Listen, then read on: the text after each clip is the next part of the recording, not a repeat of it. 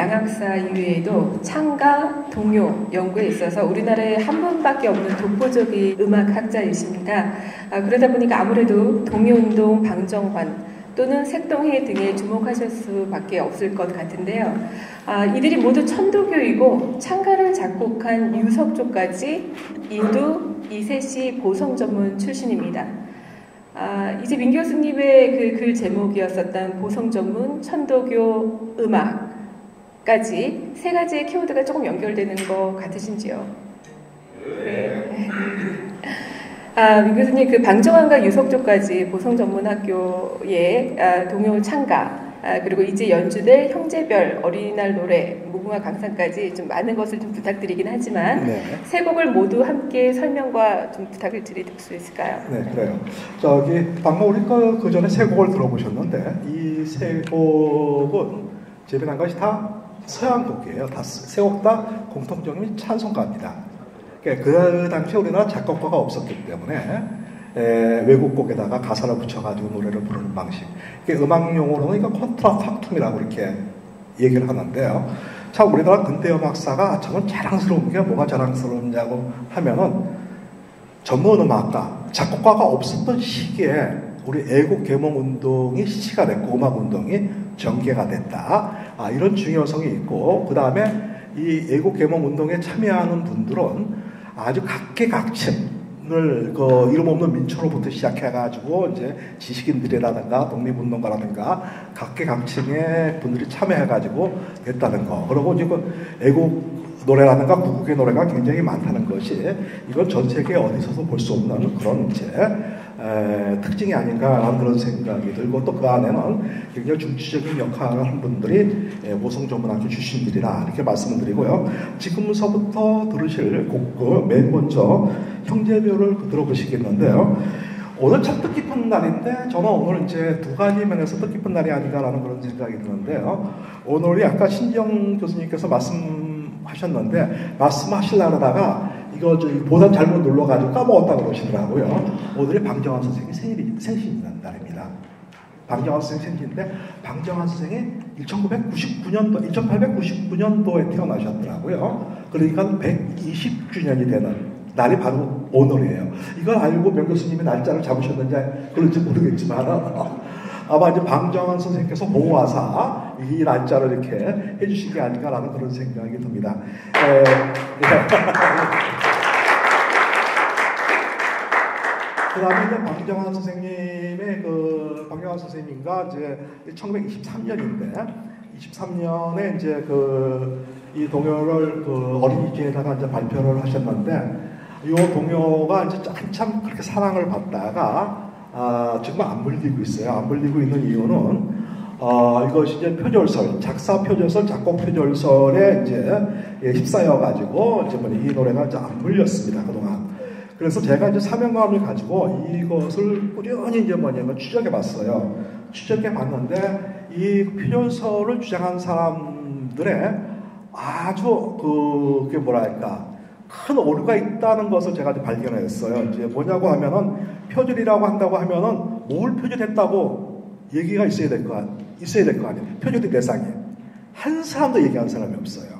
한 사람도 얘기하는 게 없는, 한 사람이 없는데 그걸 가지고 표절설 때문에 이상하게 이제 뭐냐면 이 노래가 안 불렸는데 일본 노래 표절했다 그래가지고 더더욱이 안 불리고 어, 이 정실전 기념 사업에서도 이 노래를 집어넣지 않았더라고요. 에, 그런데 저는 이제 뭐냐면 유학을 일본에서 했습니다. 일본에서 하면서 제가 이제 한일 간의 동요라든가 창가라든가 근대 음악과 관련된 학술 대회도 굉장히 많이 했고 음반도 굉장히 많이 만들고 많은 그 저기 동요 전문가들 압니다. 어, 일본 동요 전문가들한테 이 노래를 들려주니까는 일본 동요와 비슷한 동요는 전혀 없답니다. 왜 없냐면 이게 사본의 삼박자거든요. 일본은 삼박자 음악이 거의 없어요.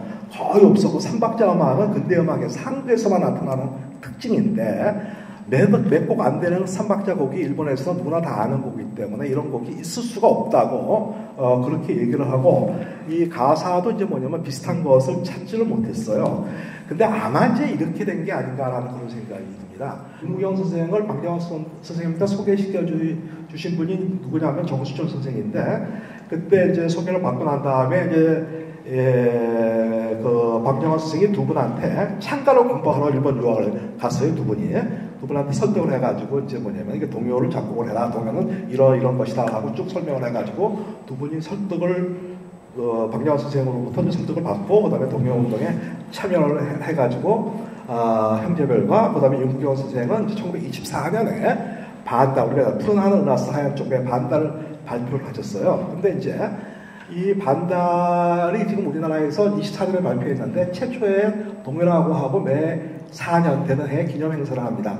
뭐 64년, 74년, 84년 그래서 2024년에는 동요 100주년 행사를 크게 하지 않을까라는 그런 생각이 들어요. 그 과정에서 이거 저기 방정환 선생이 아마 이, 이, 이 동요를 정수천 선생한테 가사를 주기 전에 일본 곡에다가 한번 붙여봤던 모양이에요. 붙여봐고 노래를 한번 불러봤던 모양이에요. 그래서 이제 윤기경 선생이 이제 뭐냐, 왜 일본 노래에다 붙였냐. 아마 요, 요게 이제 뭐냐면, 어, 윤기경 선생의 전기에 나오거든요. 그래서 그거가, 그러고 난 다음에 다시 방정환 선생한테 작곡을 의뢰해가지고 이 어, 작곡을 했는데, 그 곡에 남아 있기 때문에 많은 사람들이 오해를 해가지고 그렇게 한게 아닌가라는 어, 그런 생각이 예, 듭니다.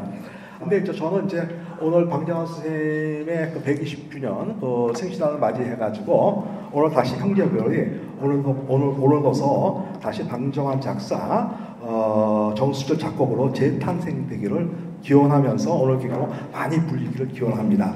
그리고 다시 재탄생되는 그 무대가 바로 이 무대이기를 기원합니다. 예, 그 다음에 이제 뭐냐면 김기전 선생. 아까 여러 가지 말씀을 드렸는데, 김기전 선생도 이제 요 당시가 아직까지 우리가 작곡이 활성화되지 않았던 시기였었기 때문에, 어, 이 노래 역시도 이제 외국곡에다가 어, 붙여가지고 이제 5월 1일 어린이날 그 노래를 그 만들었어요. 그래서 이거는 조자 마치라는 이제 원래 이제 미국 남북전쟁 때에 군가 있었지만은 우리나라에는 찬송가로 들어왔습니다. 우리들의 싸울 것이라는 찬송가로 들어왔는데 굉장히 이것이 이제 경쾌하고 굉장히 발랄하고 그래가지고 이 멜로디가 각종 학교의 교과, 교과로 쓰이기도 하고 각종 학교의 운동가로 쓰이기도 하고 또 독립공가, 또 독립운동가로의 선율로서 많이 사용하는 그 곡입니다. 그래서 오늘은 어린이날 노래 에, 그 조자 마치에다가 어린이날 가사를 붙인 최초의 어린이날 노래를 한번 감상해 보시도록 하고요. 어, 제가 잠깐 말씀을 길어지는데, 어, 어, 말씀을 길어지는데, 1937년에 이제 뭐 어린이날이 폐지되면서 이 노래가 안 불렸어요. 그리고 해방 후에 어린이날이 이제 복원이 되면서 어, 이때 어린이날 노래가 새로 등장을 하게 됩니다. 그때는 나라라 새들아 푸른 하늘은 이게 윤석준 선생님이 작사를 하셨고요. 그 다음에 안기영이라는 분이 작곡을 하셨어요. 그러다가 그 부르다가 안기영 선생이 월북을 했습니다. 월북을 해가지고 다시 또 금지가 됐어요. 금지가 돼가지고 다시 그 똑같은 가사를 가지고 반달의 작곡자인 윤국영 선생한테 부탁을 해가지고 이제 그 어린이날 노래가 됐어. 지금 우리가 부르고 있는 어린이날 노래가 됐습니다. 그래서 어린이날 노래는 그렇게 세 편이 있다. 이렇게 아울러 이렇게 말씀을 드립니다. 네. 어, 저는 그 세 번째 아직 얘기 안 해주셨는데 아, 세 번째 노래를 작곡한 유석조라는 분이 있는데요. 그 음악을 전공하지 않은 이제 보성 전문학교 출신인데 작곡도 하고 작사도 했다. 지금 오늘 불려지는 거의 대부분의 노래들이 다 가사가 붙여지는 형태입니다. 원래 선율은 있었거나 그런 경우인데 유석조 씨의 노래는 작사도 하고 작곡도 한 경우라서 굉장히 기대가 되고 실제로 저는 며칠 전에 그 리허설을 좀 다녀왔는데 노래가 굉장히 기계가 넘치고 아주 좋습니다. 이따가 기대하시고 네, 잠깐 잠깐 제가 더 빠졌는데요. 네네. 어, 저기 유석조 선생님 이 노래는 필사모드로 전해지는 겁니다. 정식으로 저기 악보화된 게 아니고 이게 몇 년 전에 그 아드님께서 저한테 오셨어요. 아드님께서 저한테 오셔가지고 아버님께서 그 출판하다가 출판을 못하신 필사반 악보집을 이제 나한테 이제 뭐냐면은 어좀 준다고요. 그래가지고 그거를 연구에 좀 활용하라고 해가지고 이제 기꺼이 받았습니다. 그래가지고 그것이 이제 전혀 이제 뭐냐면 기회가 없다가 이분이 어, 기회가 없다가 아, 이제 요, 오늘 어, 연주를 하게 돼 있는데 유 교수님께서도 아, 같은 유시네. 아, 유, 아, 유 교수님께서 말씀을 하셨지만 노래가 굉장히 가사도 좋고 노래도 굉장히 훌륭합니다. 아, 그런데 제 생각에는 아마 오늘 초연이 되는 곡이 아닌가라는 그런 생각이 들어요. 그때 이게 야학교, 야학교, 이, 양, 이 양반이 기독교인이면서 야학 운동을 했어요. 유석조 선생이.